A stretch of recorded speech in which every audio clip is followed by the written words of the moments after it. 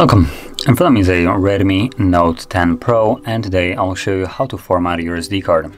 So to get started you will want to open up settings. From here navigate into about phone and select the storage right here.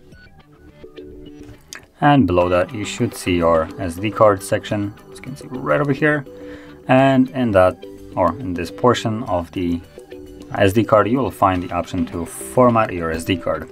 So let's tap on it.